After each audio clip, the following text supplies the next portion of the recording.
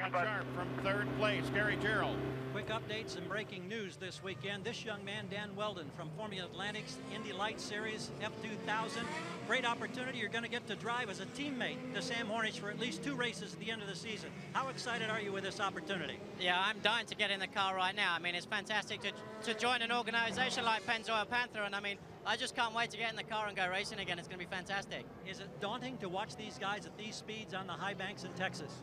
Uh, not really. We've done this before in the uh, Dayton Indy Light Series, and what makes it easier is joining a fantastic team. You can see Hornish is uh, really fast today, so that bodes well for me. We'll see him in Chicago and at the end of the season right back here in Texas, guys.